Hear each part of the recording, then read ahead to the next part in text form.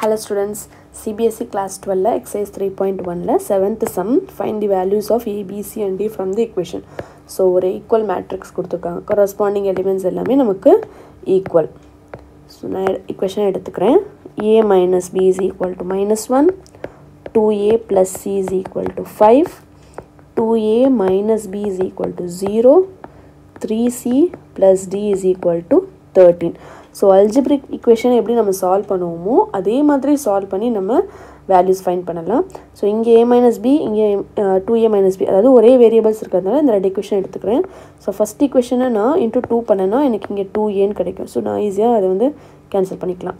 So நான் into two பண்ணால் two A minus two B is equal to minus two full ஈக்குவேஷன்ஸும் டூவால் multiply பண்ணியிருக்கேன். இந்த ஈக்குவேஷன் அப்படியே எடுத்துக்கிறேன். Two A minus B is equal to zero so sign change பண்ணும்போது இது கேன்சல் ஆகிடும் இங்கே minus B is equal to minus two B is equal to two அப்படின்னு நமக்கு கிடைக்கும். ஸோ நான் என்ன பண்ணுறேன்னா B is equal to two எடுத்துகிட்டு போய் இந்த கொஷனில் சப்ஸ்டியூட் பண்ணால் எனக்கு ஏவோட வேல்யூ கிடைக்கும்.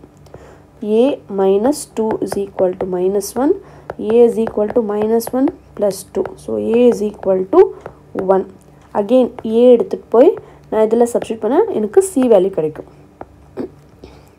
Two into one plus c is equal to 5 c is equal to 5 minus 2 c is equal to 3 so next C எடுத்துகிட்டு போய் நான் இதில் சப்ஸ்டியூட் பண்ணும்போது எனக்கு டி வேல்யூ கிடைக்கும்.